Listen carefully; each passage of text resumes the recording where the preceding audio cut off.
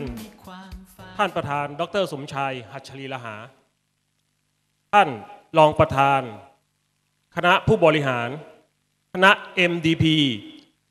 และแขกผู้มีเกียรติที่รักทุกท่านขอสวัสดีครับ ผมนายสุภวัฒน์เทพยุหะ manager balance team มาจากจังหวัดลำปางครับผม ก่อนอื่นนะครับ ก่อนที่ผมจะได้รู้จักกับจอยแองคอยในอดีต ผมเคยทำงานอยู่บริษัทญี่ปุ่นแห่งหนึ่ง ในนิคมอุตสาหกรรมลำพูนซึ่งผลิตระบบอิเล็กทรอนิกส์ ถือว่าเป็นบริษัทยักษ์ใหญ่แห่งหนึ่งในจังหวัดลำพูน โดยเป็นตำแหน่งระดับผู้จัดการโรงงาน Factory Manager ซึ่งมีคนงานอยู่ประมาณ 2-3,000 คน ระดับการศึกษาของผม จบระดับการศึกษา ริญญาโทคณะ MBA หรือการจัดการทั่วไป ผมได้รู้จักกับบริษัทจอยแอนคอยเมื่อปี 2549 ในปีนั้นบริษัทจอยแอนคอยยังมีชื่ออยู่เจริญโอสถอยู่นะครับ ถือว่ายังเป็นชื่อเก่าอยู่ โดยการแนะนำหรือการของผู้ใต้บังคับบัญชาผมเอง วันหนึ่ง ผมได้เดินเข้าไปในโรงงานเพื่อที่ไปตรวจงานตามปกติ มีผู้ใต้บังคับชาผมคนหนึ่งได้เข้ามาทักทายผม บอกว่าพี่สุภวัตพี่อยากจะมีรายได้เสริมนอกเหนือจากงานประจำที่ทำอยู่ที่นี่ไหม ผมก็เลยตอบน้องเข้าไปนะครับว่า อยากได้ มันเป็นอะไรหรือ น้องเขาก็เลยบอกผมว่า มันเป็นบริษัทขายตรงชนิดหนึ่งแล้วน้องเขาก็หายไปพักหนึ่งกลับมาพร้อมซีดีแผ่นหนึ่งแล้วก็เอกสารชุดหนึ่ง ในซีดีแผ่นนั้นผมจำได้ว่าเป็นรูปยาหยงเหิง ตอนนั้นเองผมก็มีความรู้สึกว่า เออ น่าจะมั่นคงหรือถาวรพอสมควร เพราะไม่งั้นก็คงอยู่ไม่ได้ถึงสองปี ผมก็เลยมาวิเคราะห์ดูออกก็ตัดสินใจ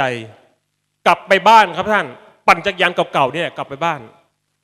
ไปพกสตางค์มานะครับสี่หมื่นกว่าบาทครับท่าน เพื่อที่จะมาลงรหัสเจ็ดรหัส โดยที่ยังไม่ได้ คิดไต่ตองนะครับว่าแผนการตลาดเป็นยังไงอะไรเป็นยังไงบ้าง เพราะผมเข้าใจว่าในเมื่อบริษัทเป็นลักษณะอย่างนี้มาเนี่ยผ่านมาสองถึงสามปีที่ผมได้ยินมาเนี่ยยังยังยืนอยู่ ก็น่าจะมีอะไรที่ค่อนข้างที่จะชัดเจน แล้วก็มีอะไรที่แน่นอน ก็เลยสมัครไปกับน้องเขาหลังจากนั้นน้องเขาที่แนะนำผมนะครับ ก็ได้ให้ผมเข้าไปสาขาเข้าไปบริษัทที่จังหวัดลำปาง เพื่อที่จะไปศึกษาแผนการตลาด หลังจากที่มี ผู้แนะนำและผู้อธิบายเรื่องแผนการตลาด ผมก็ฟังดูแล้วมันง่ายมาก ดูแล้วมันง่ายเกินความเป็นจริงครับท่าน แค่ได้ยินว่าซ้ายมาหนึ่งขวามาหนึ่งก็ได้รับหนึ่งพันก็ยังงงอยู่เอ้ยมันจะรับยังไง รับง่ายเหลือเกิน มันจะเป็นไปได้ไหม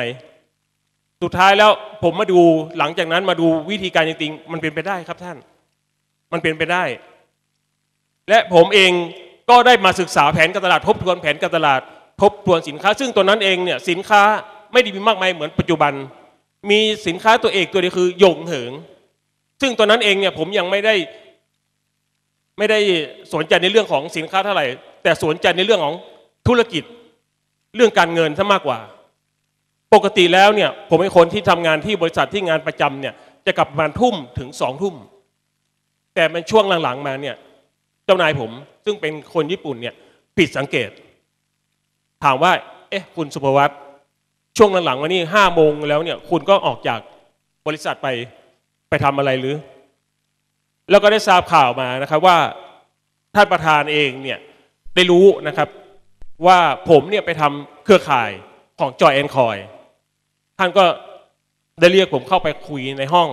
ซึ่งเป็นห้องส่วนตัว ถ้าเป็นภาษาว่าเราเรียกห้องเย็นนะครับ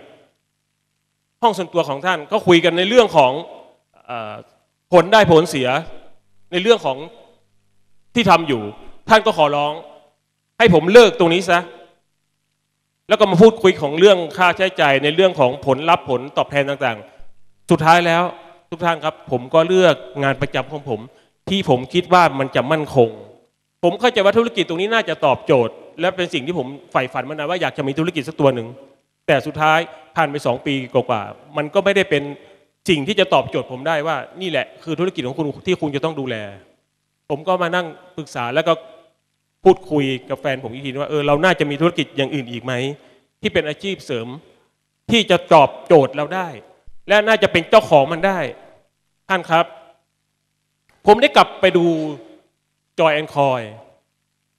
ที่ผมสมัครไว้เมื่อ 3-4 ปีที่แล้วนะครับ มหัศจรรย์มากครับ รหัสของผมที่สมัครไว้เจ็ดรหัส ยังอยู่เหมือนเดิมครับ ยังเหลืองอยู่เลยครับท่าน มหัศจรรย์ไหมครับ นี่ก็ไม่ความหมายความว่ามันเป็นวิสัยทัศน์ของบริษัท วิสัยทัศน์ของท่านประธาน ที่มองดูแล้วว่า เราจะทำยังไงให้รักษาองค์กรไว้ได้ทั้งทั้งที่อาจจะมีบุคลากรหรือใครบางคนที่หนีออกไปสักระยะหนึ่งแล้วกลับมาใหม่ ก็ยังมีการที่จะดึงเขากลับมาให้ทำงานได้นะครับท่าน ผมก็เลยกลับมาคิดไว้ซึ่งมาดูแล้วเนี่ยธุรกิจเครือข่ายหรือขายตรงเนี่ยเราสามารถเป็นเจ้าของธุรกิจได้ โดยที่ไม่ต้องลงทุนอะไรมากมาย ก็กลับมาคิดทบทวน ซึ่งตอนนั้นผมก็ยังทำธุรกิจในเรื่องของงานบริการอยู่ ทุกท่านรู้ไหมครับ งานบริกิจธุรกิจ ที่เกี่ยวกับงานบริการที่เราเป็นเจ้าของเองนี่แหละครับ มันเหมือนกับติดคุกครับท่าน ไปไหนไม่ได้เลย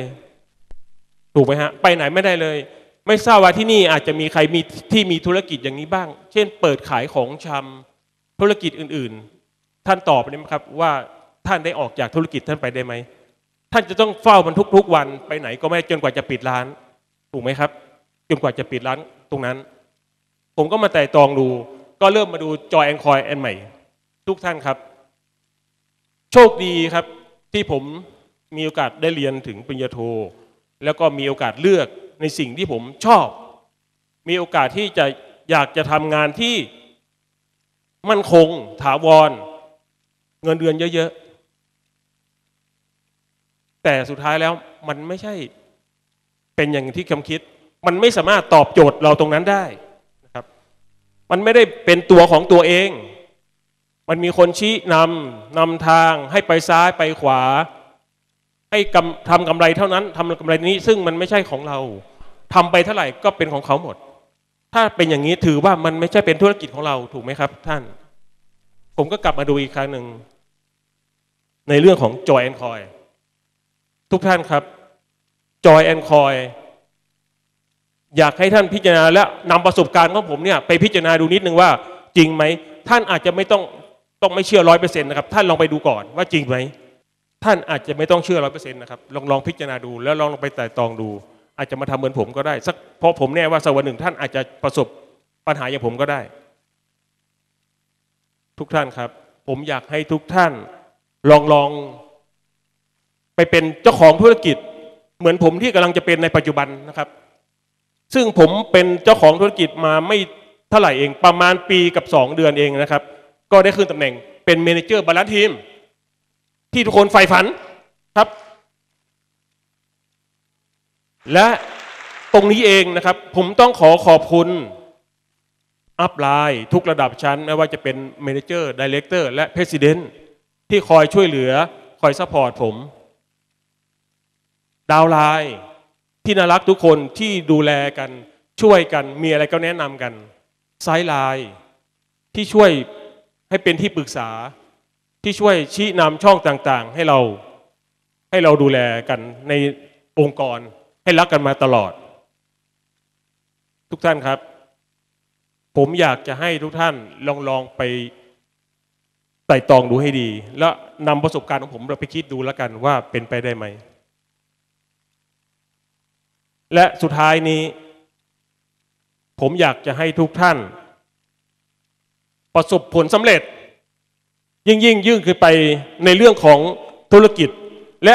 อาชีพของธุรกิจ และเป็นเจ้าของธุรกิจ ทุกๆทท่านครับ ขอให้ทุกท่านประสบผลสำเร็จ และเราจะพบกันในเวที MDP ครับผม สวัสดีครับผม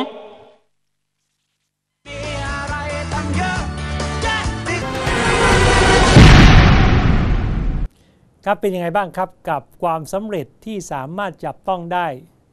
จากเรื่องราวที่เรามาฝากกันนะครับ ทั้งหมดนี้เป็นความสำเร็จที่หลายท่านอาจจะยังไม่ได้เคยได้ยินมาฟังมาก่อนว่า ผู้ที่สำเร็จนั้นเขาทำกันอย่างไร และทั้งหมดนี่แหละครับก็เป็นสิ่งที่เราอยากมาฝาก เพราะว่าความสำเร็จนั้นไม่ได้หากันได้ง่าย แต่ความสำเร็จนั้นสามารถทำให้เกิดขึ้นได้ ถ้าเราเข้าใจ และความเข้าใจนี้แหละครับนำไปสู่สิ่งที่ทำให้เรานั้นง่ายต่อ การเข้าถึงความสำเร็จ ถ้าพูดถึงความสำเร็จหลายคนก็คงจะนึกถึงความสำเร็จที่อาอาจจะเป็นสิ่งที่จับต้องได้บ้างไม่ได้บ้าง แต่ถ้าวันนี้เรานึกถึงความสำเร็จที่เขาได้สำเร็จกันแล้ว แล้วอะไรเป็นแรงขับเคลื่อน อะไรคือปัจจัยและวิธีการทำอย่างไรนี่แหละครับที่เรามาฝากกัน ทั้งหมดนี้เป็นเรื่องราวที่อยากให้ท่านได้เรียนรู้ เพราะว่าวันนี้ความสำเร็จนั้นหาได้ไม่ได้ง่ายครับ แต่ก็ไม่ได้ยากเกินไป ถ้าเราจะไขว่คว้า ก็อยากจะบอกว่าความสำเร็จนั้นหาได้ไม่ยากครับ แล้วก็หาได้ถ้าท่านต้องการจะหาจากความฝันของท่าน จากความต้องการของเราของเรา และจากความคาดหวังของเรา เอาทั้งหมดมารวมกันแปลเปลี่ยนเป็นแรงบันดาลใจทำให้เรานั้นสามารถขับเคลื่อนตัวเองไปสู่ความสำเร็จได้ไม่ยากครับสำหรับวันนี้ก็ต้องบอกว่าเป็นเรื่องราวอีกเรื่องหนึ่งเรื่องราวนะครับที่หลายท่านสามารถเอาเป็นแบบอย่างได้สำหรับวันนี้ ก็ต้องขอลาท่านผู้ชมไปก่อนครับ สวัสดีครับ